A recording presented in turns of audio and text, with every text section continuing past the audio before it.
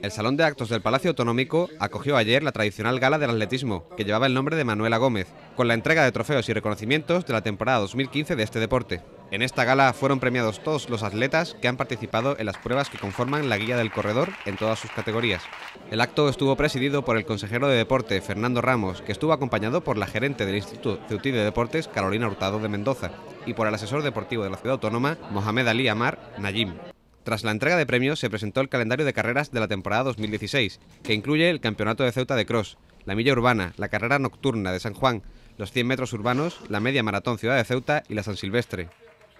A la entrada del acto se les ha hecho entrega a todos y cada uno de ustedes de un calendario de carreras como este que tengo en mi mano y que si les parece vamos a repasar a continuación.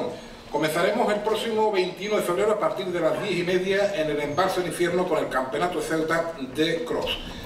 La siguiente prueba será la milla urbana, que alcanza ya su decimonovena edición y que tendrá lugar el día 17 de abril a partir de las 9 de la mañana en el Parque Juan Carlos I. Continuaremos con un clásico, la carrera nocturna de San Juan, el memorial Manuel Carmona, el día 23 de junio a partir de las 9 de la noche en el aparcamiento de la playa del Chorrillo. Le seguirá el 16 de octubre a partir de las 9 de la mañana en el Parque Juan Carlos I, los 100 metros urbanos la 26 Media Maratón Ciudad de Ceuta y la 12 Media Maratón Junior. Tendrá lugar el 20 de noviembre de este año a partir de las 10 con salida y meta en el Parque del Mediterráneo.